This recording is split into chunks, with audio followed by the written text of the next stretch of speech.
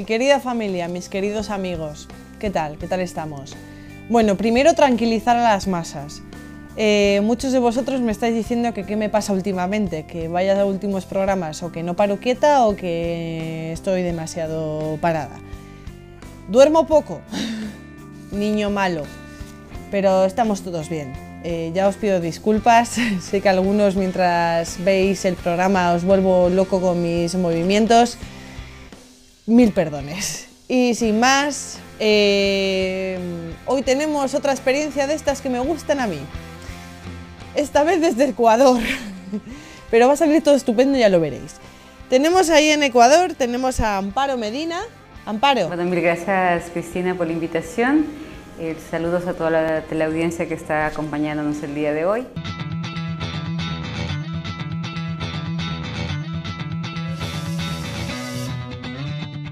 Bueno, Amparo, vamos a ver. Eh, cuéntanos un poquito de tu vida, tu infancia. Cuéntanos un poco de ti.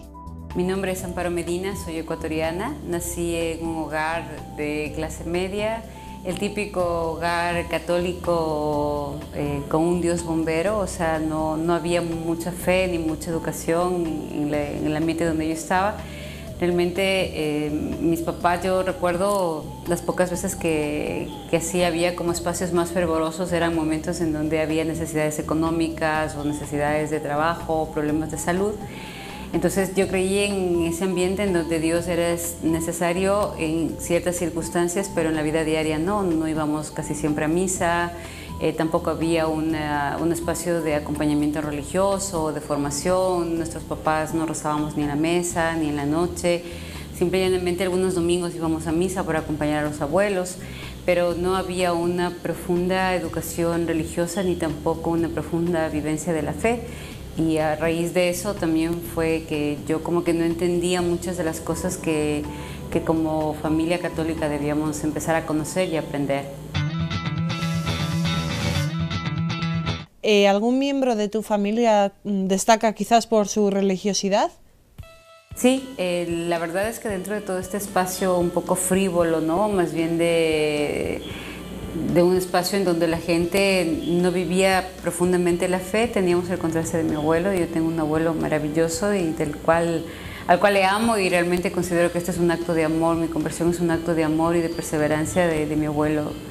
Él eh, siempre yo lo vi muy, muy cercano a Dios. Él es el único en mi familia al que yo le veía rezar el rosario a las 5 de la mañana, iba a misa casi todos los días a las 6 o a las 7 de la mañana inclusive ni siquiera tomaba agua porque sé que para recibir a Dios uno tiene que estar siempre eh, limpio y puro de corazón y de cuerpo.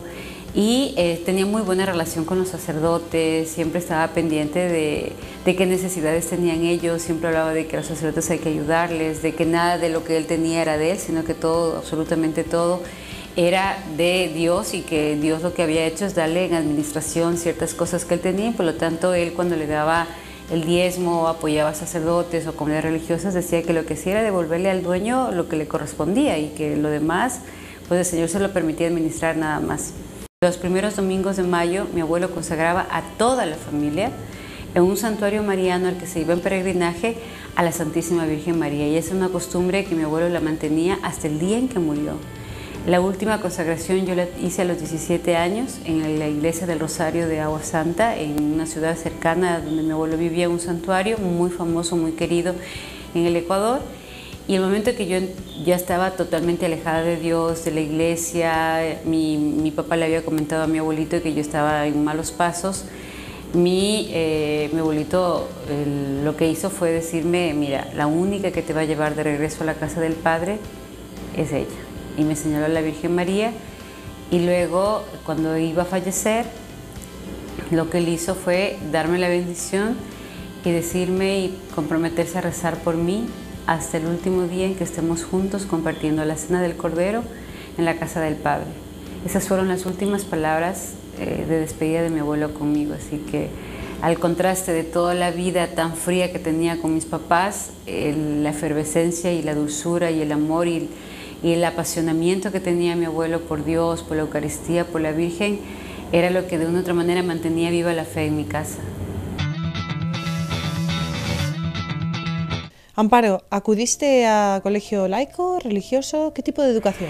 Bueno, como mi abuelo era católico y mucha gente le conocía y compartía con él, entonces eh, toda, mi, toda la educación primaria yo la hice en una, escuela católica. Cuando fui al colegio tuve un problema con unas religiosas y fui expulsada del colegio.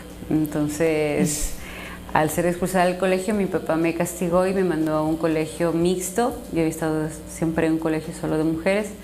Me mandó a un colegio mixto y protestante. Y ahí fue donde realmente rompí absolutamente con todo, porque en la iglesia eh, protestante y en las reuniones que ellos tenían siempre me preguntaban, como yo decía que era católica, porque siempre me enseñaron que yo era católica, aunque no tenían fundamentos para eso me cuestionaban de la, si adorábamos o no a la Virgen, de que si comíamos o no pancitos que eran o no eran consagrados, o sea, de unos términos muy complicados. No les podíamos decir que sí, que la Virgen no la adoramos, que la veneramos, que la Virgen no es la Salvadora, pero es la Madre del Salvador y, cosas de, que ahora las podría decir. Entonces yo lo que asumí fue que ni los unos ni los otros, o sea, que Dios no existía porque cada uno se había fabricado un Dios y se había empoderado de ese nombre de ese Dios y que por lo tanto la única manera de existir era a través de lo que yo veía, de lo que yo creía, pero no de lo que me decían que había que creer. Rompí terminantemente con Dios y, eso inclusive en la adolescencia, en la rebeldía de la adolescencia, me permitió generar como un espacio de poder dentro de mi grupo, porque ya no era a la que le hacían la Inquisición, sino yo era la que preguntaba, la que molestaba, le decía, a ver, preséntame dónde está tu Dios y dame tu teléfono y, dónde lo puedo encontrar y cuál es la prueba de que Dios existe y siempre los mm, empezaban a meter como en jaque. Eso me llevó a que pueda conocer varios amigos que ya estaban incursionando en el mundo de izquierda que eh, con la forma de pensar que yo tenía y con las preguntas que yo hacía, les parecía que yo podía ser un buen cuadro dentro de izquierda. Yo fui basquetbolista desde muy pequeña y claro, me engancharon por donde más me gustaba a través del deporte. Era fascinante ir a las huelgas, estar con los obreros. Y así fue como poco a poco me fui vinculando en el mundo, en el mundo de la izquierda a pesar de que seguía un colegio protestante, a pesar de que me seguían hablando de Dios, pero de un Dios que para mí ya no significaba nada, de un Jesucristo que para mí era un hombre común y corriente, que no había hecho absolutamente nada y que de una u otra manera yo aprendí a odiarlo porque veía que a través de la iglesia se había entre comillas, hecho mucho daño. Ese era el cuento que nos, que nos dieron, que la iglesia era la cruz que cargaba América Latina, que en estos 500 años se había terminado con una historia, con una cultura de los pueblos indígenas, que la iglesia era la culpable de la pobreza, que el Papa se llevaba todo el dinero de, América, Latina. Es decir, toda una serie de mitos que se, se van generando alrededor de, esta, de este odio a la iglesia, de esta cristianofobia, y hoy se ha sentado mucho más entonces tú asumes ese discurso sin investigar, sin leer, y estás, eres adolescente, te parece algo que inclusive rompe con el sistema, rompe con los esquemas establecidos y vas enganchándote de a poco y vas como enamorándote y apropiándote de una propuesta que luego vas viendo que te va creciendo y te va metiendo un montón de cosas más. Ya. Sabemos que has estado en la cárcel. ¿Cómo llegas a esto? ¿Cómo reaccionan tus padres? ¿Qué pasa ahí? Cuéntanos un poquito este asunto. Cuando mi papá se da cuenta que yo estaba ya realmente muy metida fue cuando alguien le avisa que yo estaba con orden de prisión. Y fue justo cuando tenía 17, 18 años. Y que había estado en una toma de terrenos y que había estado en huelgas. A mí me sacaron de un aula dentro de la universidad, una universidad particular que estudiaba. Y eh, el momento que caí presa fue porque alguien de mis compañeros que estaba ahí en el aula le llamó a mi papá y le dijo, mira, le acaban de llevar presa a su hija y mi papá empezó a buscarme y después de unos días que, que, estábamos ahí pudo encontrarme y gracias a Dios me salvaron la vida porque de los cinco que estuvimos presos solamente dos hemos sobrevivido, los otros tres ni siquiera se han encontrado sus cadáveres. Mm, ya, pero vamos a ver, eh, Amparo, estas actividades, ¿por qué tipo de actividades de este grupo de extrema izquierda fue por la razón quizás por la que te metieron presa? ¿Por qué? ¿Por qué? ¿Qué has...? Y el momento en que estoy pasando a la universidad, eh, me vincula ya de una manera mucho más extrema en, los movimientos de izquierda revolucionaria, en el brazo armado de, este, estos movimientos, porque eh, dentro de todo eso también organizábamos huelgas, entonces nos tomábamos empresas y organizábamos a los, a los trabajadores para hacer las huelgas y nos tomábamos terrenos también, o sea, tratábamos de generar a los sin tierra entregarles espacios de terreno, pero nos robábamos la tierra, es decir, eh, organizábamos en una noche determinada la toma de una hacienda, una hacienda que ya había sido estudiada en planos y todo, donde repartíamos a la gente los espacios de terreno para que ellos vayan, pernoten ahí y con palos, con machetes, con pistolas, con todo, nos adueñábamos de esa tierra y luego si es que en un caso se quería negociar, pagábamos lo que se podía pagar, pero no lo que realmente la tierra valía. Esos actos eran ilegales. Eh, también lo que hacíamos era generar espacios de organización comunitaria que eran espacios de poder muy fuerte, espacios de poder que generaban violencia tanto a nivel interna de los sectores comunitarios como también de violencia externa. O sea, salíamos a la calle con cientos y miles de, obreros a la calle a protestar, paralizábamos eh, los autobuses, paralizábamos la ciudad con las huelgas que hacíamos. Entonces, sí, de, de todo esto, así como habían actividades a favor de las mujeres, de los niños, también habían actividades que ah, le pesaban a la sociedad, no solamente a nivel de conflicto, sino también económicamente. Pero además nosotros ya habíamos decidido entrar en las armas, entonces éramos un grupo armado. Este grupo armado hizo muchos secuestros, mató a mucha gente, eh, robó muchos bancos para poder generar, tuvo actividades que son ilícitas. Mucha gente hoy está en el poder en mi, país. Entonces eh, son, gente que, si bien nacen de grupos de extrema izquierda, también hicieron muchas cosas que, que estaban marcadas fuera de la ley. Vamos a ver, tu padre consigue liberarte y cuáles son las medidas. ¿Qué hace tu padre en ese momento contigo? que, a ver, algo no le gustaría demasiado. Bueno, primero la sorpresa de ver cómo quedé, porque quedé totalmente destrozada, el rostro lastimado y todo, y mi papá siempre ha sido muy rígido, ¿no? O sea, eh, un hogar donde nunca había una palabra de cariño, de afecto, todo era muy, muy esquemático, muy formal, muy estructurado. Entonces cuando mi papá me ve, claro, mi reacción y mi necesidad era que me abrace, que, que, me diga algo, aunque me hable, pero que, se preocupe por mí. Mi papá lo primero que me dijo fue, este día te vas fuera del país. Parece que por ahí mi abuelo tenía algunas conexiones, entonces yo fui a vivir a España, en el País Vasco. Estudié en el Instituto Esquí de Escola, estudié todo lo que es animación sociocultural, educación de tiempo libre, educación de calle.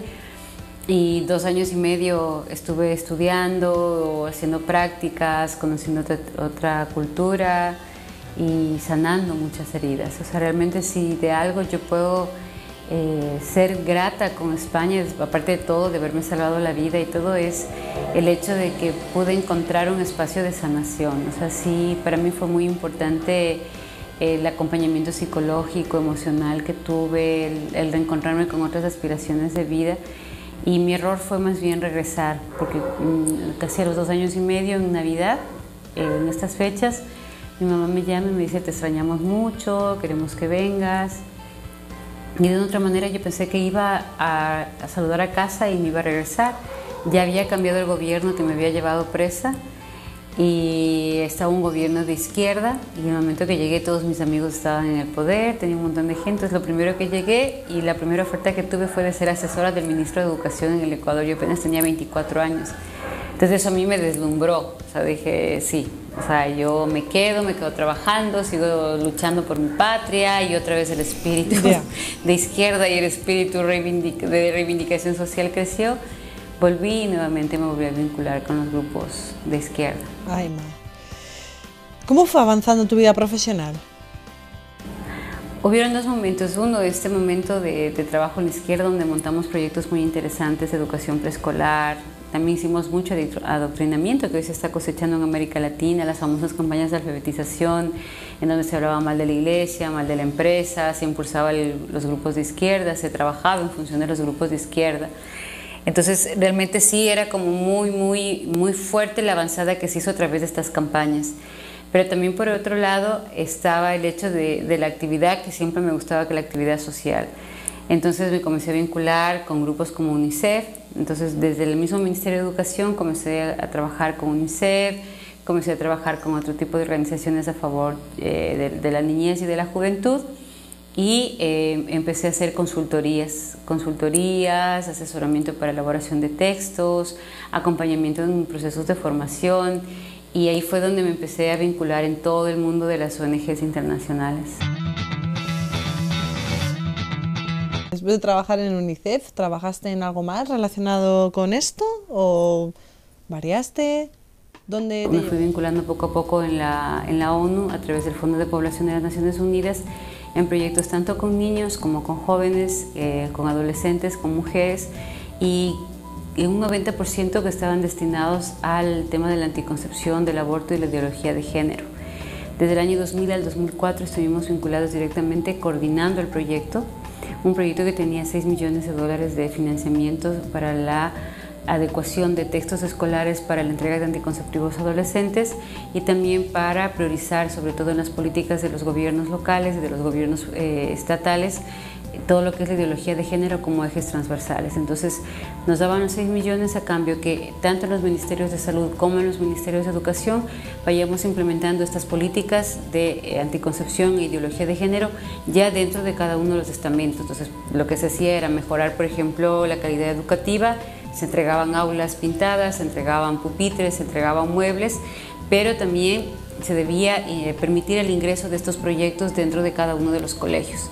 Se capacitaba maestros, se capacitaba médicos, a los cuales se les decía que la única manera de parar el, embarazo adolescente o de parar todo este inicio sexual temprano era a través de la entrega de anticonceptivos. Y ese era el único mensaje que se les iba dando a los maestros y a los eh, servidores de salud. Vamos a ver, ¿y con todo este trabajo que hacías, tú veías algún tipo de avance social? ¿Alguna mejora? O sea, lamentablemente, eh, cuando tú estás trabajando y tienes el dinero para generar todo este tipo de propuestas, lo primero que te venden es que es la única solución, ¿no? Y segundo, eh, lo que te dicen es que eh, todo este dinero que se está generando es un dinero de ayuda para poder sacar a las mujeres adelante. Y lo que no te das cuenta es que realmente empeora estas políticas. Entonces, lo que nosotros vimos después de una evaluación que se hizo en el 2004 de estos proyectos en Santiago de Chile, nos pudimos encontrar con la ingrata noticia de que habíamos empeorado la situación. Nos habíamos gastado 6 millones de dólares en, en difundir estas propuestas y habíamos quintuplicado el embarazo adolescente ya los chicos no se iniciaban sexualmente a los 16, 17 años, sino que a los 12 y 13 años. Teníamos que en algunos sitios el SIDA iba a ser inclusive pandemia y teníamos también casos de enfermedad de transmisión sexual que ya no eran solamente genitales, sino que teníamos que habían mutado a nivel anal y a nivel bucal. Entonces habíamos empeorado la situación. Cuando comenzamos a cuestionar y a preguntar dentro de las Naciones Unidas por qué se estaba dando esa situación, la respuesta más infantil y tonta que pudimos recibir como técnicos era que por primera vez estaban clarificando las estadísticas porque antes no existía nada. Y no es verdad. La respuesta fue, ¿quién financia estos programas? Y esa fue la pregunta que nos hicimos. O sea, ¿cuál es el interés de seguir financiando algo que no está dando resultado? Hicimos una investigación, nos metimos mucho más a fondo y veíamos que quienes financian estos proyectos eran las mismas farmacéuticas. Entonces, prácticamente era una campaña de venta de los productos de las farmacéuticas que les regalaban dinero a la ONU, a las Naciones Unidas, para poder vender sus productos. Entonces, claro, en vez de gastar en campañas de marketing que son mucho más complicadas, lo que hacían era financiar a la ONU para que la ONU las difunda como políticas públicas y así ellos poder entregar de manera obligatoria sus productos a la población, con todos los resultados alrededor que también les beneficia a ellos, porque difunden sus productos entregan muestras gratis de su producto, pero el gobierno les compra sus productos. Luego, los chicos o se embarazan o se enferman. ¿Quiénes son los beneficiados? Ellos. Si yo compro en la India preservativos a 10 y 12 centavos y luego legalizo su venta a 50 centavos y no solamente con eso, sino que encima más propongo que por ley se coloquen en todos los colegios públicos, en todas las universidades, en todas las discotecas como política de salud, bueno, es un negocio redondo. Ya. A ver, Amparo, pero el tema de los anticonceptivos va en contra de aquello que te han inculcado en tu fe católica anteriormente. ¿Promoviste después algo más que fuese en contra de la fe católica? Bueno, dentro de lo que es el grupo de izquierda, sí. Es decir, siempre nos enseñaron que la, única eh, propuesta positiva era la de ellos, ¿no? la de izquierda, y que el enemigo a vencer era la iglesia la iglesia y los poderes económicos. Entonces, eh, y aprendes a odiar a la iglesia, a los sacerdotes, eh, aprendes a odiar al Santo Padre, es decir, toda la formación de izquierda está destinada a hablar mal por un lado de la iglesia y por el otro lado del poder económico. ¿no? sé y se empiezan a crear enemigos. Los enemigos de las mujeres, los hombres, los enemigos de los niños, los adultos, los enemigos de los pobres, los ricos, los enemigos de, de, de, de, los obreros, los empresarios. Entonces, todo el mundo se convierte en enemigo al cual yo tengo que vencer y el cual yo tengo que erradicar. Entonces, claro, se genera una lucha de clases impresionante que lo que termina es en río revuelto. Entonces, esta gente empieza a pescar desde la parte política, desde la parte económica. Y dentro de las Naciones Unidas, básicamente es un enfrentamiento ante la, iglesia, pero muy, muy socavado. Es decir, saben manejar muy bien los términos porque saben que la única que les dice las cosas como son y que establecen marcos de verdad, que además los jóvenes los están pidiendo, es la iglesia. Entonces, por un lado, no se ponen en contra de la iglesia, pero sí tienen un discurso en donde te hablan en contra de la iglesia, de los principios de la iglesia. Entonces te hablan, por ejemplo, que la pureza no es positiva, que las relaciones sexuales solamente en el matrimonio son realmente una mentira y es inclusive hasta cierto punto vergonzoso y te empiezan a enseñar discursos que atenten contra esos principios. Entonces, si tú unes la izquierda y unes también este otro trabajo que ellos hacen en donde se desvirtúa todos los principios, entre comillas, desde aspectos científicos, que no es verdad, claro, encuentras un conjuro que es muy, muy saludable para ellos, pero muy enfermizo para los chicos que son las víctimas de esta, de esta propuesta. Ya. Dentro de estas acciones que estás relatando, eh, ¿qué acciones tomabais contra los sacerdotes? ¿Cuáles eran estas?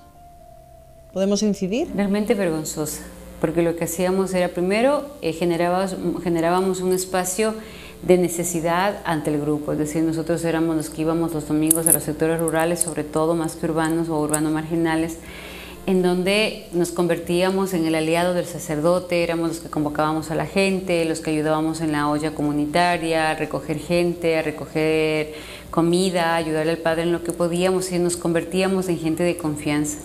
Pero a la vez que nos convertíamos en gente de confianza, nos convertíamos como en el paradigma a vencer dentro de la iglesia. Entonces decíamos, Padre, deje de usar el Keyman porque eso le separa de la gente, no deje que le digan padre, mejor que le digan compañero, eso le va a ser mucho más cercano a, a los grupos comunitarios. Eh, sería importante que más bien en vez de vestir así se vista más como nosotros, así la gente le va a querer más, le va a apreciar más.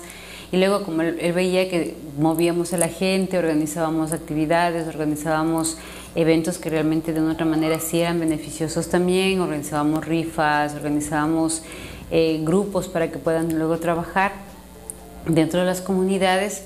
Claro, llegaba un momento en que el padre muchas veces nos creía más a nosotros que a muchas de las viejitas o señoras que estaban ahí dentro, ¿no? Y claro, cuando les empezábamos a hablar de, de la anticoncepción, le decíamos, padre, no se preocupe, nosotros nos encargamos de los talleres, pero usted él es la parte suya, nosotros le damos nuestra parte. Entonces, claro, cuando ya el sacerdote se iba, le decíamos que todo eso era mentira, que era un tema religioso, que no, les, que no, no tenía sustento científico.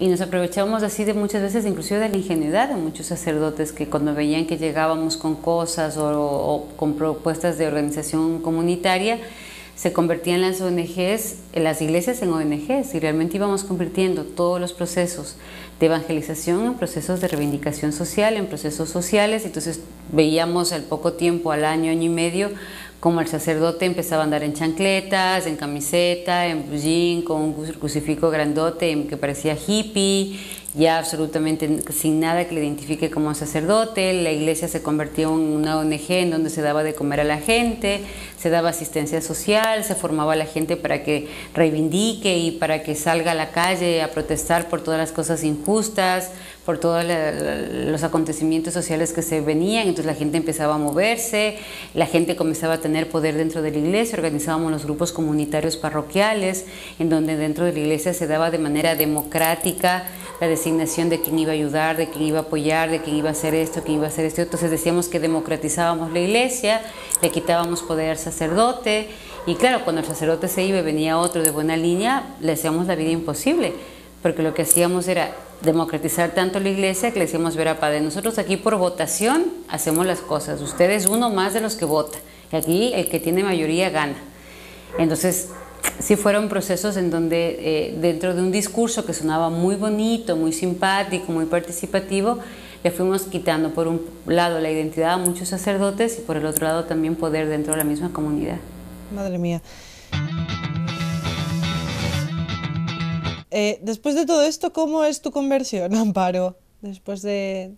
ya, después de todo este. Bueno, realmente, como lo dije al inicio, es un regalo de, Dios eh, y, a través de las oraciones de mi abuelo. Mi abuelo, el día que iba a fallecer, eh, nos llamó a todos los nietos a darnos la bendición. Bueno, estaba ya agonizando, entonces en esos días se pidió que, vayamos, que, que estemos con él. Mi abuelo pidió darnos la bendición y a mí me piden que entre el último, porque yo siempre fui la nieta mimada del abuelito, yo era su bastoncito. Entonces él siempre me decía mi bastoncito, mi pequeña, mi amor. Bueno, yo, para mí mi vida era mi abuelito y yo creo que para él también yo era sus, sus ojos, como él decía, ella es la, la luz de mis ojos. Entonces cuando yo entré, yo sabía que se iba a ir y mi abuelo me decía, no, es que simplemente es por un tiempo. Y cuando me dio la bendición, nosotros tomábamos la bendición en ese tiempo de rodillas. Ahí me da la bendición y me dice, mi bastoncito, no me cansaré de rezar por ti en el cielo hasta que estemos juntos eternamente en el cielo en la cena del Cordero. Amigos, eh, vamos a dejar esta entrevista para la próxima semana. Os dejamos ahí con el rebusguillo de mmm, qué nos contará Amparo. Nuestra compañera Amparo nos ha contado un montón de cosas interesantísimas que al próximo día seguiremos escuchando y viendo. Gracias amigos. Y en un momento determinado ella saca una imagen de la Virgen, la pone así, y yo lo que hago es sacar la imagen, la destrozo y le boto en la cara, le empujo al piso y empiezo a gritar, ¿dónde está Dios? ¿Dónde? Preséntenmelo, denme su número telefónico, denme su dirección. Me sentí sucia, sentí asco de mí misma, comencé a mirar como, como si fuera un, un ente podrido, totalmente podrido, me veía con gusanos, apestaba, pero es una cloaca, esa mirada. Aquí estoy por ti. Y si lo tengo que volver a hacer, lo voy a hacer. Pero aquí estoy porque te amo.